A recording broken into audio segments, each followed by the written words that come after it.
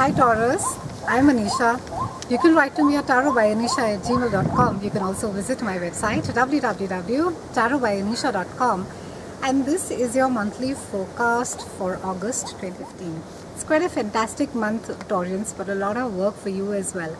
We have the gorgeous Venus and she is going to be going retrograde the entire month and then we have uh, Saturn that is going direct and this aspect happens only once in every 27 years so you have to take full advantage of it. Now we begin the month with uh, Saturn that is going direct on 2nd of August and this is happening in a part of your chart that speaks about partnerships. It speaks about marriage. And this aspect uh, is not going to be happening for you for the next 27 years so make full use of it. Take full advantage of this aspect. And this is a time where uh, and all throughout for the last uh, two and a half years Taurians we've spoken about uh, relationships we speaking of we have spoken about how it is that you relate with them the transformation the changes. There's been a lot of focus on your marriage. There's been a lot of focus um, at your foundation at your house of foundation which really speaks about your home. It speaks about your parents. So for the last two and a half years there seems to be a lot of uh, action that seems to be happening over here. It can be that you have been uh, busy evaluating a lot of stuff that has to do with your relationships. Do you break them? Do you take them ahead? Do you transform? Uh, what is it that you do? And now finally when uh, Saturn goes direct in Scorpio this time and it's a time wherein you know Saturn is just asking you to heal your relationships Taurans it, it's really a time where you need to be um, you need to be putting the baggage to rest you know it's a time wherein that you're also going to be realizing that you know you could be a bit tired of uh, making things work. And it can also be a time where for those of you who are not in a committed relationship or who have been looking for a committed relationship you know you could be quite tired of the being in and out of relationships. And you could just be looking for um, you know you could be getting very serious about relationships. It's just a time where there could be no sense of maybe if earlier uh, for, for some of you it could be a sense of adventure or you know that excitement of being in a new relationship. But now there's going to be a more sense of responsibility a seriousness around it. And uh, it can also be uh, a time for those of you who are not married. You know it could just sort of put you off relationship. And even in fact for those of you who are married in fact who have been going through a challenging time it could also be a time wherein you could just be thinking about you know what's the purpose of having this entire uh, relationship? It could just be quite a burdensome uh, thing for you. And uh, it, it is also a, a, time wherein that um, not just a time I think it can be that since the last uh, uh, you know couple of months uh, or even two and a half years you could have been thinking about uh, relationships a bit too seriously. I, I, think it's maybe you have been putting too much of unnecessary focus or that sense of not just expectations but maybe there's just too much of a serious focus on it you know which is uh, you're just being sort of being asked to put your foot off uh, the the accelerator over here.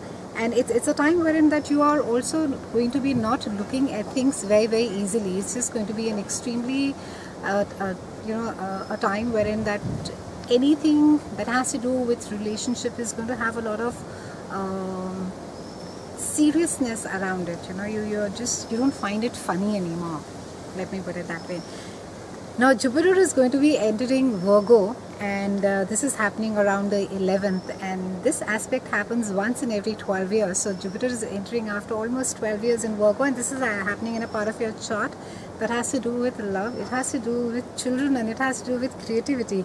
And the only issue over here is that uh, Jupiter is detriment in this position. Now by detriment we mean that uh, it just curtails the exuberance of a particular planet. So maybe what how a planet is supposed to be functioning or how it would function otherwise in in uh, its full element it's not really. So it's not retrograde but it's detriment. It's not really uh, be able to give its entire expansiveness or maybe the goodness or the fortune that it would normally be. So you could find it a little bit challenging uh, to uh, you know to maybe as far as love is concerned as far as creativity or even children are concerned. So not to say that you're not going to be happy, but it's just that a, a thing of a challenge of sort of managing maybe your expectations that what you thought that it will really turn out to be this really fantastic and things are going well and maybe the kind of you know um, uh, hope that you had inside maybe it, it won't turn out to be as large or as soul satisfying as you had thought it would be but it wouldn't be bad either. And it's it's a time wherein that um, you are being asked to uh, you're being asked to not compromise but you're being asked to adjust. You're being asked to manage your expectations uh, and of course Jupiter coming there is going to be putting your focus on to your children and there's going to be a sense of happiness that you're going to be feeling um, uh, uh, you know, uh, as far as your kids are concerned, maybe there could be some source of happiness or some news that you will hear uh, about them. And it's also a time wherein that, um, wherein it's it's a great time to travel for those of you again. You know, if you've been say been planning a trip to Venice and saying it may not really happen, it may not really, but you will travel. So it could be that uh, you know you'll uh, end up going somewhere more closer home. So it may not be as exotic or as uh, adventurous as you had thought it would be. Now Venus the goddess of love beauty sex and also values and she's your ruling planet as well Taurans and she's going to be going retrograde the entire month. And this month uh, in fact this aspect is there for uh, all of us. And it's a huge um, aspect because over here we're talking about values. We're really the focus is about what is it that we really value? What do you think that your relationship really uh, gives to you, brings to you? What is it that you are? How it is that you are participating in the relationship? And you're just going to be sitting and reassessing everything as far as uh, uh, your relationships are concerned. And this is aspecting your house of Cancer. It's there in your house of foundation. So it, it has to do with your parents. It has to do with your mother. It can be that there is uh, it's maybe a time that you are going to be reassessing. Maybe there's a conditioning that comes from your mother. Maybe you think too much like you maybe there are control issues that are there.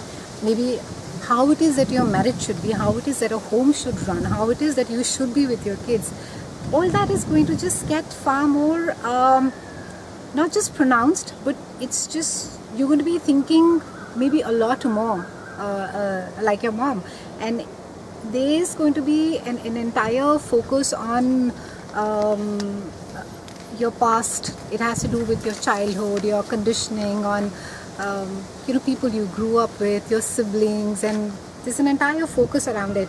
Now it's also a time because Venus also uh, rules money. It's a good time to be reassessing your uh, finances. It's a great time to be budgeting, and it's a good time to be looking at. Uh, um, you know maybe you've been to extravagant and uh, because this has to do with home uh, and foundation it could be that uh, there is a lot of expense that is being incurred on a child.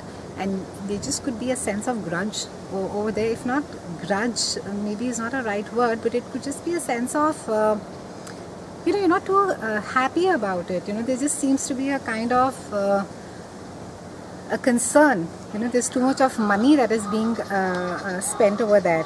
And um, this is a time where uh, Venus is going to be asking you what is it that uh, you want to let go of? And it speaks about past issues. It speaks about uh, uh things that have to do with your relationship. It's really asking you know that how much of it is that you want to hold on and carry tolerance. You know if you are there in the relationship you might as well just let go of the baggage and just heal yourself. The focus this entire month is going to be healing your relationships and healing yourself. And uh, it, it's really a time wherein that you may have it's not that you've not thought a lot about these relationships but it's just a time that you've sat and you've introspected a lot and you've um, you know but there's no great solution that has come out of it. So it, it's really a time where you need to be uh, getting closure. You need to be closing the loop uh, really on this. So use this great energy Taurans I think uh, for a lot of you for the last two and a half years there's so much of being back and forth and um, you know this entire thing of that burdensome uh, responsibility of a relationship that has been there. It's really a time where you heal it and, and you heal yourself uh, in the process itself. It's been a pleasure speaking with you Taurians have a brilliant August. I'll see you soon and thank you so much for watching